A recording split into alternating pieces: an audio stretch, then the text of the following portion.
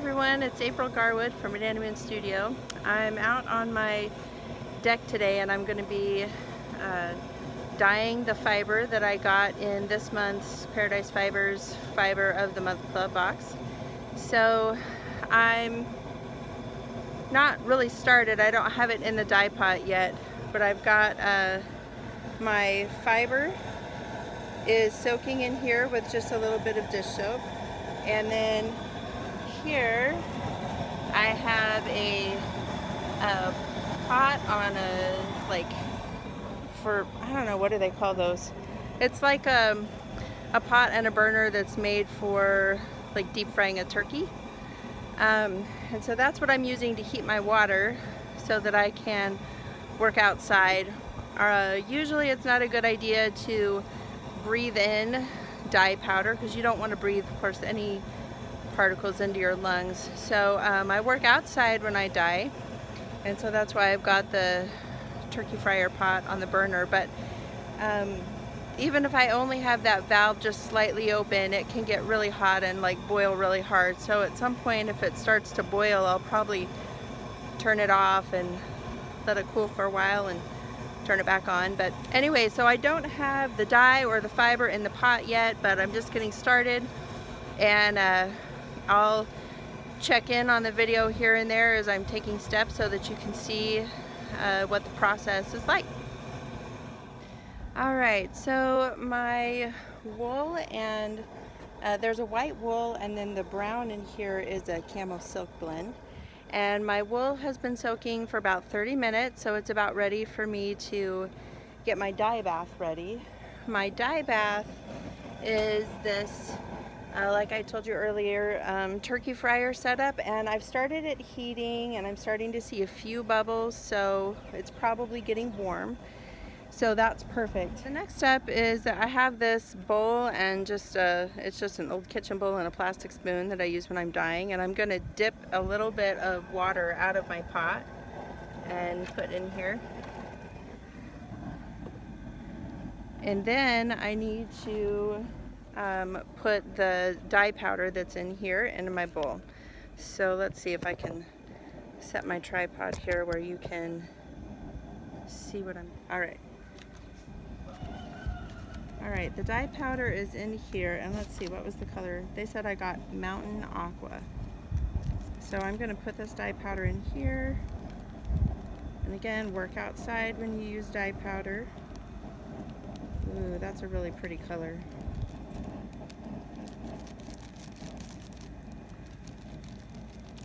Work outside or make sure that everybody indoors is wearing a mask when you work with dye powder so that you're not breathing it in. Tuck that in here, throw that away in a bit, and I'm going to stir this.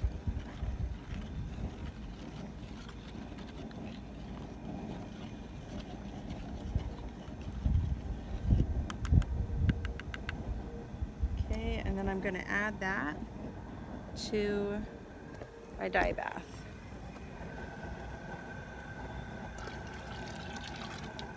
I'm going to kind of slosh that around and try to get most of the dye out without burning my hands because it's definitely steaming now, it's hot. All right,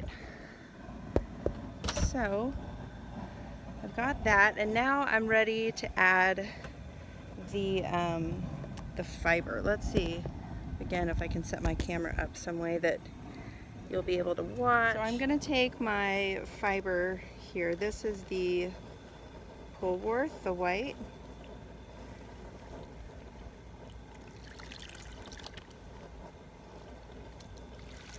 Let that drip for a minute.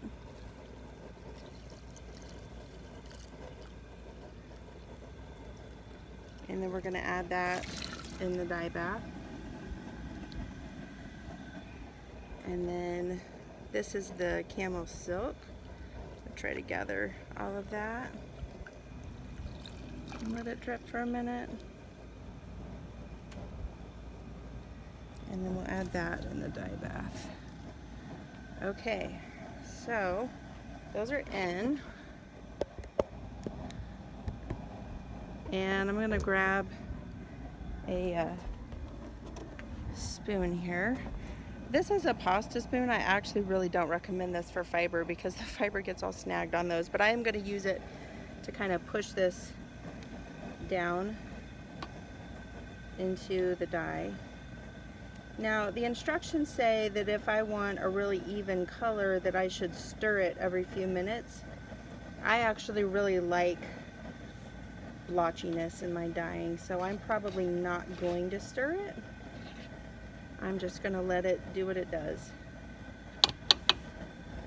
Alright, so there's that and then where did my instructions wind up? There they are, in my pocket. Alright. Whew, it's really hot. This is a west facing deck. It's hot out here. Okay, so it says gently but often to dye fiber evenly. I'm not going to do that. Dye it for 30 minutes. So that's what I'm going to do next is set a timer for 30 minutes. And at that point, I want to look and see if all the color has been absorbed out of the water. And if there's still color in the water, then I will probably let it go a bit longer. And but if it looks like all the all the uh, dye has been soaked into the fiber, then I'll be ready at that point to rinse it a little bit and hang it to dry. Hello, so it hasn't been 30 minutes yet, but my uh, dye pot is uh, definitely boiling and uh, it tends to do that. This turkey fryer pot gets super hot. So I, um, just a bit ago, I turned off the gas for a little bit and it stopped boiling and I waited a few minutes and I've turned it back on and boom, it's already boiling again. So I'm gonna leave it off a bit longer, have it back on. It's gonna kind of be back and forth. 30 minutes. And so I'm looking at my dye pot here. Um, there's definitely still dye in the water. So I'm gonna let it stay in longer. I, uh, the water was boiling really hard and so I actually turned off the gas for a little while. Um, and then I tried turning it back on after I waited a few minutes and it started boiling like really hard again right away. So I turned it off for a bit longer, but it's been off a little while now. So I'm gonna turn the gas back on for a little bit and let this um, stay in the hot water longer and see if we can absorb more of the dye. I might also add a little bit of vinegar to the water to see if that helps it absorb. So we will catch back up in a little while and see how it's doing. Hi there.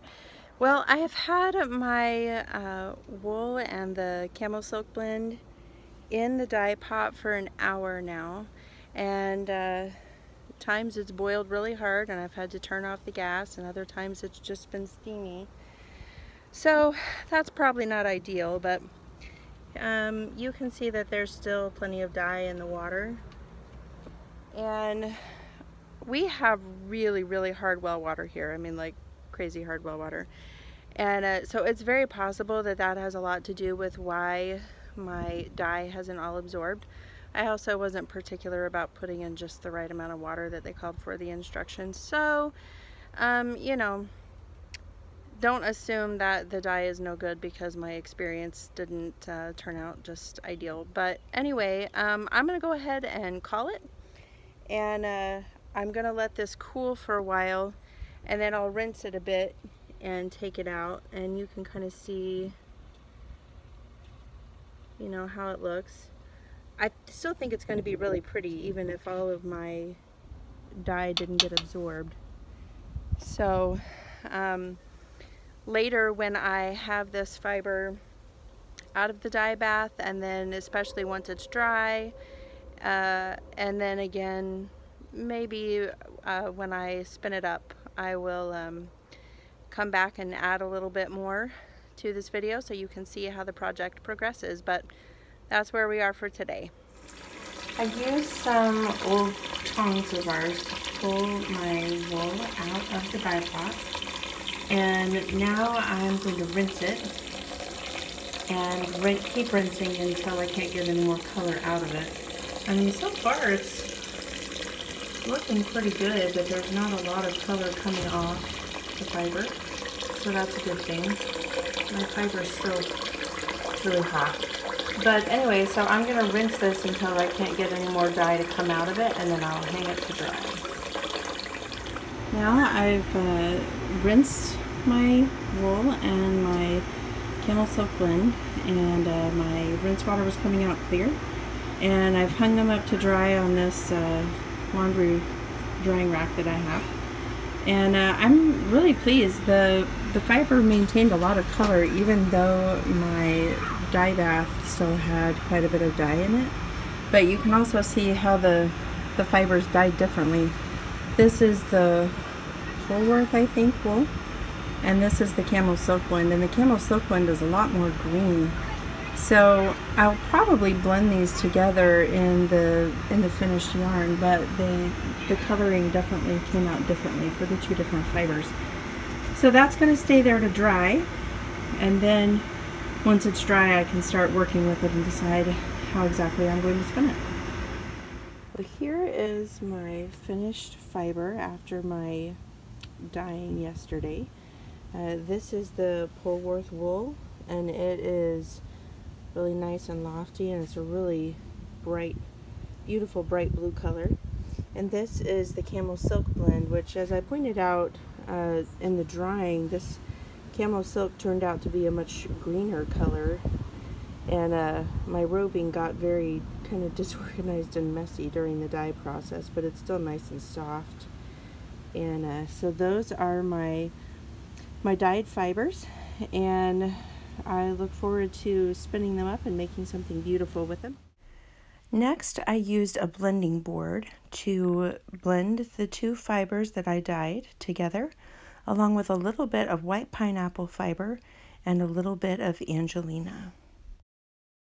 And last of all, I used my spinning wheel to spin the fiber into singles and then ply them into a two ply yarn. And this is my finished yarn. It turned out really beautiful.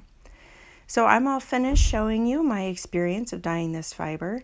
Please remember to like this video, subscribe to my, my channel, and share your spinning experiences with me in the comments. Thanks so much.